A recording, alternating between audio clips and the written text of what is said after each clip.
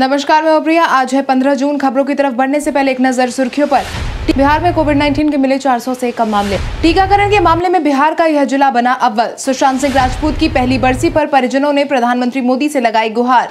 Bihar board ने जारी किया बारहवीं स्क्रूटनी का रिज़ल्ट। लोजपा के टूट पर पशुपति पारस ने दिया बयान। अब चले बढ़ते हैं बिहार की पच्चीस बड़ी खबरों की और विस्तार से। बिहार में कोविड 19 के मिले 400 से कम मामले। स्वास्थ्य विभाग की तरफ़ से मिली जानकारी के अनुसार बिहार में बीते दिन के पिछले 24 घंटे में कुल मिलाकर 324 मामलों की पुष्टि हुई है जिसके बाद बिहार में एक्टिव मरीजों की संख्या 4,771 पर पहुँच गई है। इसके साथ ही अगर हम प्रभावित जिलों की बात करें तो अररिया में पंद्रह अरवल में एक औरंगाबाद में दो बेगूसराय में छह भागलपुर में तीन भोजपुर में आठ बक्सर में दो दरभंगा में बारह पूर्वी चंपारण में नौ गया में छह गोपालगंज में एक जमुई में सात जहानाबाद में दो कटिहार में पाँच खगड़िया में सात किशनगंज में आठ लखीसराय में चार मध्य मधेपुरा में तेरह, मधुबनी में छह, मुंगेर में तीन, मुजफ्फरपुर में बावन, नालंदा में छह, नवादा में पाँच, पटना में सत्ताईस पूर्णिया में ग्यारह, रोहतास में नौ, सहरसा में एक, समस्तीपुर में सात, सारण में तीस, शेखपुरा में ग्यारह, सीतामढ़ी में तीन, सिवान में सत्रह, सुपौल में सात, वैशाली में अठारह मामलों की पुष्टि हुई है। वहीं बीते दिन के पिछले चौबीस घंटे में कुल मिलाकर एक लाख छह हज़ार दो सौ पच्चीस सैंपल की जाँच की गई। इसके साथ ही आठ सौ इक्यावन मरीज़ ठीक होकर घर वापस लौटे हैं। बिहार बोर्ड ने जारी किया बारहवीं स्क्रूटनी का रिज़ल्ट बिहार बोर्ड ने फरवरी में आयोजित करवाई गई बोर्ड परीक्षा के स्क्रूटनी के परिणाम को जारी कर दिया है, जिसके तहत छात्र बिहार बोर्ड की आधिकारिक website Bihar board online dot com पर जाकर रिज़ल्ट चेक कर सकते हैं। बिहार स्कूल एग्जामिनेशन बोर्ड ने एक अप्रैल को बारहवीं क्लास और इंटरमीडिएट की फाइनल परीक्षा के आंसर बुक की स्क्रूटनी के लिए रजिस्ट्रेशन शुरू किया था। आपको बता दें कि जिस छात्र ने अपने बीएससीबी के बारहवीं के परिणाम से संतुष्टि नहीं दिखाई थी, वो आधिकारिक वेबसाइट पर स्क्रूटनी आवेदन जमा कर सकते थे। रिज़ल्ट चेक करने के लिए छात्रों को एप्लीकेशन नंबर और रजिस्ट्रेशन आईडी डालनी होगी। इन नियमों का नहीं किया पालन तो ड्राइविंग लाइसेंस कर दिया जाएगा निलंबित। ट्रैफ़िक रूल्स तोड़ना वाहन चालकों को महँगा पड़ सकता है। सुरक्षा के नियमों का उल्लंघन करने पर परिवहन विभाग और ज़्यादा सख्ती दिखा रहा है। नियमों की अनदेखी कर गाड़ी चलाने वाले चालकों का ड्राइविंग लाइसेंस निलंबित करने की कार्रवाई बिहार में शुरू कर दी गई है, जिसके तहत ही तीन महीने में ही अब तक दो सौ पंद्रह चालकों के लाइसेंस निलंबित करने की अनुशंसा की जा चुकी है। पहले गाड़ियों की जाँच में केवल कागजात की पड़ताल होती रही है। इसमें हेलमेट सहित गाड़ियों से संबंधित सभी कागजात होते हैं लेकिन अब परिवहन विभाग ने जाँच के दौरान ये भी देखना शुरू कर दिया है कि चालक सड़क सुरक्षा नियमों का पालन कर रहा है। या नहीं, इतना ही नहीं, रूटीन जाँच के अलावा दुर्घटना होने पर चालकों के लाइसेंस का निलंबन की कार्रवाई भी की जाती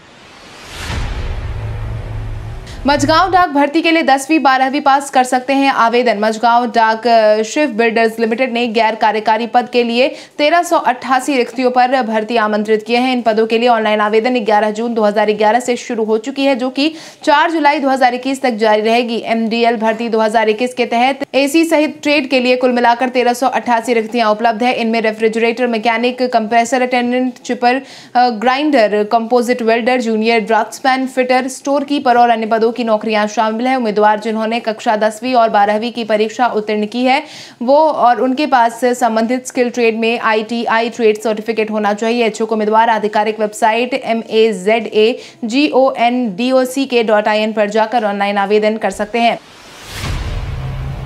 बिहार में अब हर शहरी निकाय में बनाया जाएगा बुडको का कार्यालय। बिहार में अब शहरी निकायों में बुडको के कार्यालय को बनाने की तैयारी हो रही है।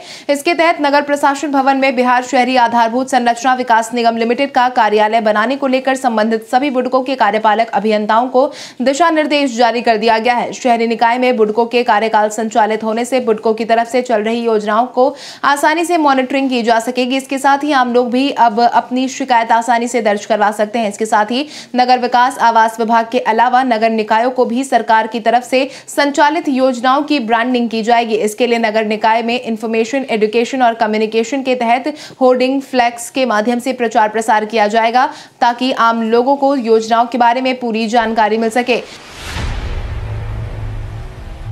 आज बिहारी पहचान में हम बात करेंगे पंकज झा की। पंकज झा एक भारतीय अभिनेता और चित्रकार है जो मुंबई, भारत में स्थित है। उनकी फिल्मोग्राफी में ब्लैक फ्राइडे, गुलाल चमेली, अनवर और मातृभूमि शामिल है। उन्होंने टेलीविज़न धारावाहिक काशी में भी अभिनय किया है। हालाँकि अपनी अभिनय भूमिकाओं के लिए अधिक प्रसिद्ध पेंटिंग झा का पहला प्यार बन गई है। पेंटिंग के लिए उनका पसंदीदा विषय प्रकृति है, लेकिन उन्होंने साक्षात्कारों में उल्लेख किया है कि वे अध्यात्मवाद जैसे विषयों के साथ प्रयोग करना चाहते हैं। वो अपनी रचनाओं के लिए तेल, एक्रेलिक पेन और स्याही का मिश्रण पसंद करते हैं। पेंटिंग में उनकी रुचि उन्नीस सौ अस्सी के दशक में शांति निकेतन में रहने के दौरान विकसित हुई। एम्स दीघा और अरिराज फोरलेन का रास्ता हुआ साफ़।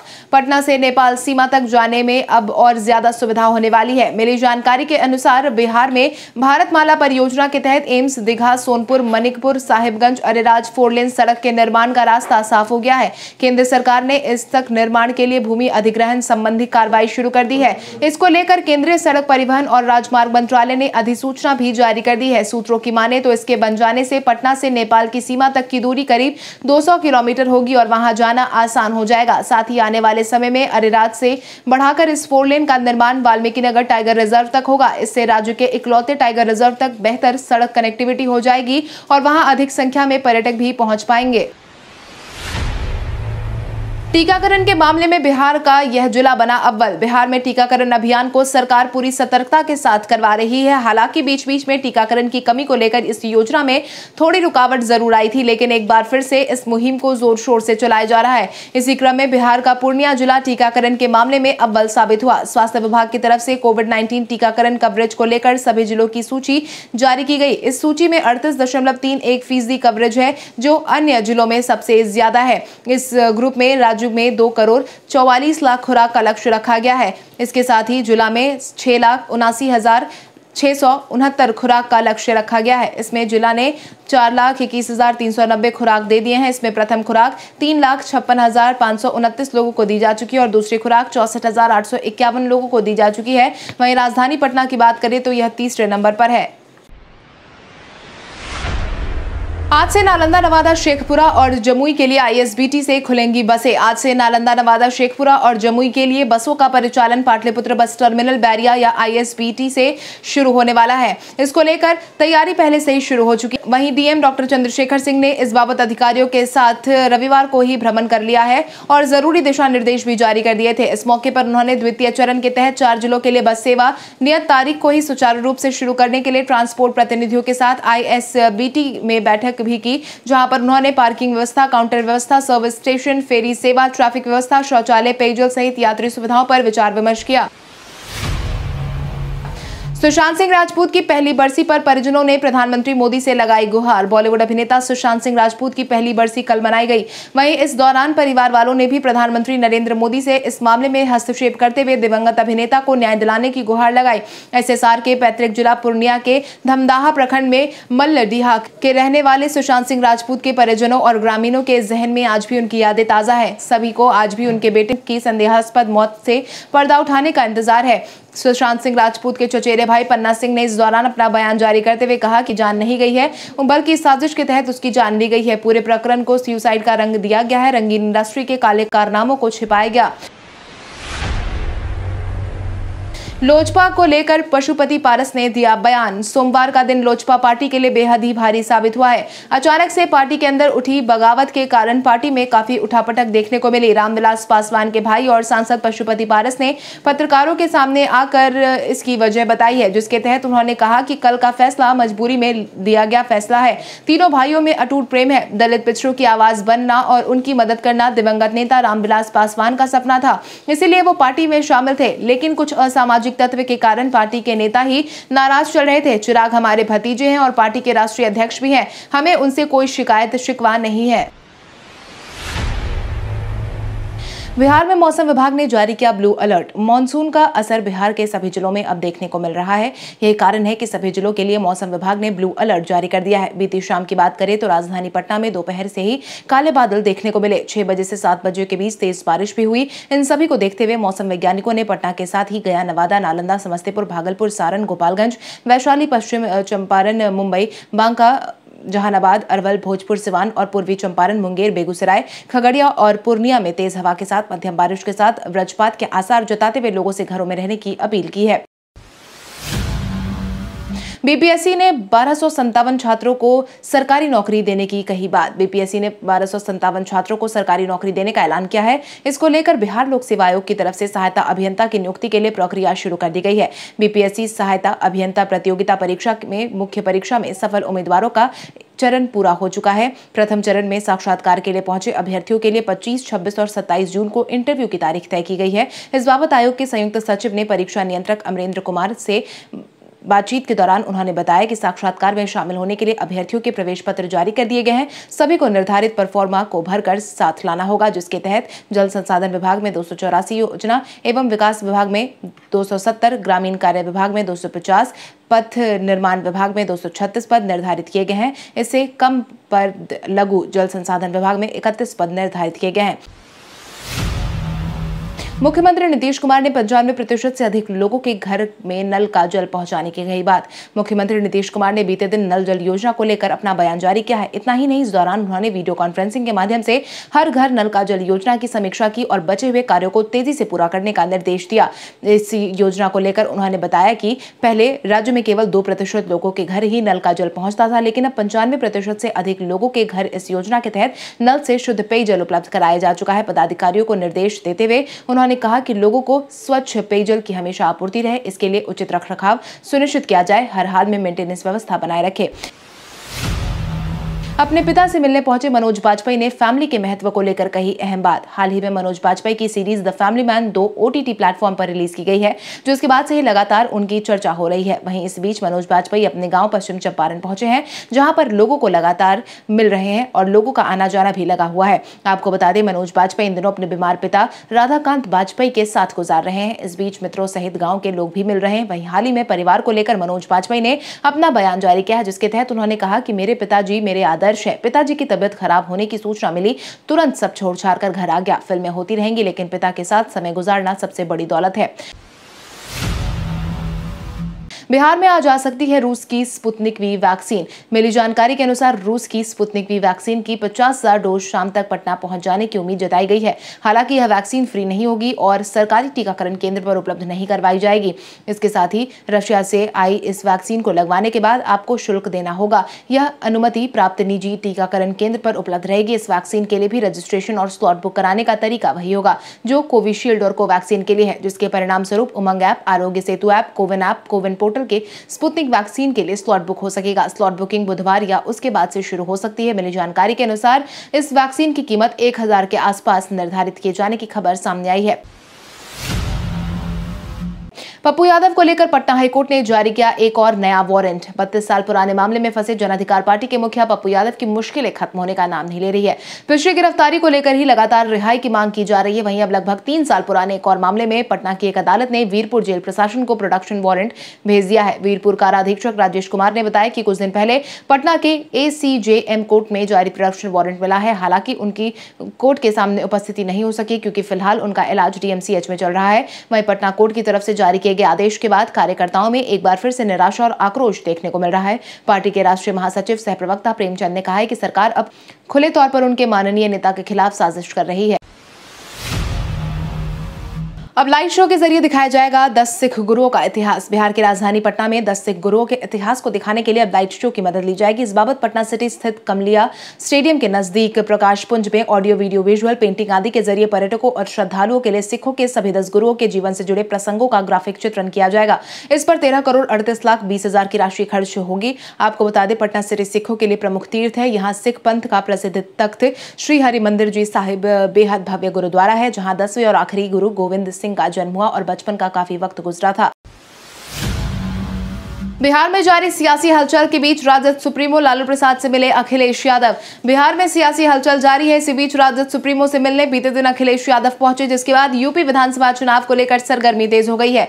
वहीं लालू यादव से मुलाकात की जानकारी अखिलेश यादव ने खुद अपने ट्विटर अकाउंट से दी, जिसके तहत उन्होंने फ़ोटो को पोस्ट करते हुए लिखा कि दिल्ली में माननीय लालू प्रसाद यादव जी से मिलकर उनके स्वास्थ्य लाभ की सकारात्मक प्रगति जानी। हम सब की तरफ़ से उनको स्वस्थ और सक्रिय जीवन की शुभकामनाएँ। आपको बता दें, लालू प्रसाद यादव का मुलायम सिंह यादव के परिवार से व्यक्तिगत संबंध है और दोनों एक दूसरे के रिश्तेदार भी है। कयास लगाए जा रहे हैं की यह मुलाकात उत्तर प्रदेश में होने वाले विधानसभा चुनाव के मद्देनजर हो सकते हैं। पप्पू यादव की रिहाई को लेकर जन अधिकार पार्टी ने चलाया हस्ताक्षर अभियान। जन अधिकार पार्टी लगातार पप्पू यादव की रिहाई को लेकर मांग कर रही है। कभी जल समाधि तो कभी सड़कों पर उतर करके समर्थक लगातार पप्पू यादव को रिहा करने की मांग करते देखे गए हैं। इसी क्रम में बीते दिन जन अधिकार पार्टी के कार्यकर्ताओं ने हस्ताक्षर अभियान चलाया। इस दौरान पटना के वैशाली गोलंबर पर हस्ताक्षर अभियान चलाते हुए राष्ट्रपति को पत्र लिखकर पप्पू यादव की रिहाई की मांग की गई। जन अधिकार पार्टी के राष्ट्रीय महासचिव राजेश रंजन पप्पू की अध्यक्षता में चलने वाले इस हस्ताक्षर अभियान में करीब चार से पाँच हज़ार लोगों ने अपनी सहभागिता दी। पार्टी के प्रदेश अध्यक्ष राघवेंद्र सिंह कुशवाहा ने कहा कि वैशाली गोलंबर पर हज़ारों लोगों ने राष्ट्रपति को संप्रेषित किया है। जब तक उनकी रिहाई नहीं हो जाती, तब तक हमारा हस्ताक्षर अभियान जारी रहेगा। चिराग पासवान के चाचा पशुपति पारस निर्विरोध चुने गए लोकसभा में संसदीय दल के नेता बीते दिन लोजपा में जारी उठापटक के बीच निर्विरोध चिराग पासवान के चाचा पशुपति पासवान को लोजपा संसदीय दल का नेता लोकसभा में बना दिया गया है। इसका फैसला मीटिंग में लिया गया। आपकी जानकारी के लिए आपको बता दें, चिराग के चाचा पशुपति समेत पाँच सांसदों ने पार्टी से बगावत कर दी थी। इस बाबत पशुपति कुमार पारस ने अपना बयान जारी करते हुए कहा कि हमारी पार्टी में छह सांसद है। पाँच सांसदों की इच्छा थी कि पार्टी का अस्तित्व खत्म हो रहा है, इसलिए पार्टी को बचाया जाए। मैंने पार्टी को तोड़ तोड़ा नहीं, बल्कि पार्टी को बचाया है, जिसके बाद राजधानी पटना में लोजपा कार्यालय का बोर्ड बदल दिया गया है। चिराग के चाचा पशुपति पारस को पार्टी अध्यक्ष के रूप में बोर्ड पर दिखाया गया है। चिराग पासवान को मिला लालू प्रसाद यादव की पार्टी से ऑफ़र। बीते दिन सुबह सुबह चिराग पासवान की पार्टी में आए भूचाल के बाद राजनीतिक सरगर्मी बिहार में तेज हो गई है। लोक जनशक्ति पार्टी की टूट के साथ ही बिहार में राजनीतिक गहमा गहमी तेज हो गई। इसी बीच चिराग पासवान को लालू यादव की पार्टी राष्ट्रीय जनता दल से ऑफ़र मिल गया है। पटना के मनेर विधानसभा से राष्ट्रीय जनता दल के विधायक भाई वीरेंद्र ने बड़ा बयान दिया है। लोजपा में टूट की खबरों के बीच मनेर विधायक ने कहा कि अगर जमुई से सांसद चिराग पासवान चाहे तो उनका राजद में स्वागत है। राजद के वरिष्ठ नेता ने कहा कि तेजस्वी यादव और चिराग पासवान मिलकर राजनीतिक गतिविधियों को देख लेंगे। दोनों भाइयों को ऐसे समय में साथ आने की ज़रूरत है, यही समय की मांग है और अगर दोनों साथ आते हैं तो यह बिहार की राजनीति के लिए भी बेहतर होगा। आपको बता दें, बीते दिन चिराग पासवान के चाचा समेत कई सांसदों के बगावत के बाद पार्टी में टूट साफ़ तौर पर नज़र आ रही है। भारत के इतिहास में आज की तारीख कई कारणों से है दर्ज। कलकत्ता शेयर बाज़ार की शुरुआत 1908 में हुई। आईबीएम की स्थापना 1914 में हुई। अखिल भारतीय कांग्रेस ने उन्नीस में नई दिल्ली में भारत के विभाजन के लिए ब्रिटिश योजना स्वीकार की। वर्धमान विश्वविद्यालय 1960 को पश्चिम बंगाल में स्थापित हुई। सुप्रीम कोर्ट का नियम अनुसार उन्नीस सौ इक्यासी में सभी बच्चों को नागरिक शिक्षा की परवाह किए बिना सार्वजनिक शिक्षा के हकदार होने की बात कही गई थी। दसवीं लोक सेवा चुनाव में उन्नीस सौ इक्यानवे को कांग्रेस को जीत हासिल हुई। भारत और चीन ने दो हज़ार छह में पुराना पुराना सिल्क रूट खोलने का निर्णय लिया। भारतीय उद्योगपति लक्ष्मी मित्तल का जन्म 1950 में हुआ। दीक्षित हिंदू संप्रदाय राधा स्वामी सत्संग के संस्थापक शिवदयाल साहब का निधन 1878 में आज के दिन हुआ था। इरफान पठान ने वर्ल्ड टेस्ट चैंपियनशिप में दो खिलाड़ियों को लेकर जारी किया अपना बयान। वर्ल्ड टेस्ट चैंपियनशिप के फाइनल में बस कुछ ही दिन बच गए हैं और इसकी तैयारी ज़ोर शोर से जारी है। वहीं टीम इंडिया के पूर्व खिलाड़ी इरफान पठान ने हाल ही में अपना बयान जारी किया है, जिसके तहत उन्होंने कहा कि ओपनिंग बल्लेबाज रोहित शर्मा और शुभमन गिल को साउथहैम्पटन में बल्लेबाजी करते समय काफ़ी मुश्किलों का सामना करना पड़ सकता है। उन्होंने कहा, मैं निश्चित रूप से रोहित शर्मा और शुभमन गिल का समर्थन करूँगा, लेकिन उनके सामने जो गेंदबाज होंगे, उनके कारण उन्हें कुछ मुश्किल होगी। एक गेंद अंतर लेकर आएगा, जबकि दूसरा उसे दूर ले जाता है। दोनों गेंद को पेश करने की कोशिश करेंगे। हम गिल के बारे में बात करते हैं तो आईपीएल में उनका प्रदर्शन उतना अच्छा नहीं था, लेकिन यह एक अलग प्रारूप है। उन्होंने ऑस्ट्रेलिया में रेड बॉल प्रारूप में बहुत अच्छी शुरुआत की थी। आप इसे इतनी जल्दी नहीं भूल सकते हैं। आप बस प्रारूप के साथ जाओ। अब आइए जानते हैं सराफा बाज़ार और पेट्रोल डीजल के क्या थे भाव। अगर हम सराफा बाज़ार की बात करें तो सोने का भाव 14 जून को 22 कैरेट के लिए प्रति दस ग्राम, सैतालीस हज़ार सात सौ साठ रुपए था। वहीं 24 कैरेट के लिए प्रति दस ग्राम, अड़तालीस हज़ार सात सौ साठ रुपए था। इसके साथ ही अगर हम चांदी की बात करें तो चांदी का भाव प्रति किलो इकहत्तर हज़ार नौ सौ रुपए था। वहीं राजधानी पटना में पेट्रोल की कीमत अंठानवे दशमलव पाँच तीन रुपए प्रति लीटर और डीजल नब्बे दशमलव आठ नौ रुपए प्रति लीटर था। कल हमारे द्वारा पूछे गए सवाल का जवाब आप में से बहुत सारे यूज़र ने हमें कॉमेंट करके दिया था। उसके लिए आपका बहुत बहुत धन्यवाद। आप में से जिन यूज़र का कमेंट हमें अच्छा लगा है उनके नाम है अभय सिंह, आदर्श कुमार, दीपक कुमार, बंटी कुमार, विश्वास सिंह, चंदन कुमार, मृत्युंजय तिवारी, कुश पांडे, प्रिंस कुमार, असलम राज, बबीता यादव, विपिन कुमार, दिव्यांशु कुमारी, उमेश शाह मिसेज मालती, प्रणय कुमार। इसके अलावा हमारी टीम को और भी लोगों के जवाब अच्छे लगे हैं, मगर समय के अभाव के कारण हम उनका नाम नहीं ले पाए। लेकिन आप हमारे सवालों का जवाब देते रहे, हम कल आपका नाम लेने की पूरी कोशिश करेंगे। तो चले बढ़ते हैं आज के सवाल की ओर। आज का सवाल कुछ इस प्रकार है। आपके अनुसार कोरोना संक्रमण के कम हो रहे मामलों को देखते हुए बिहार सरकार को क्या फैसला लेना चाहिए? अपने जवाब में कमेंट करके ज़रूर बताएँ। इसके साथ ही आज के लिए बस इतना ही। बिहार की बड़ी खबरों से अपडेटेड रहने के लिए हमारे यूट्यूब चैनल को सब्सक्राइब करें और बेलाइकॉन दबाना ना भूलें। धन्यवाद।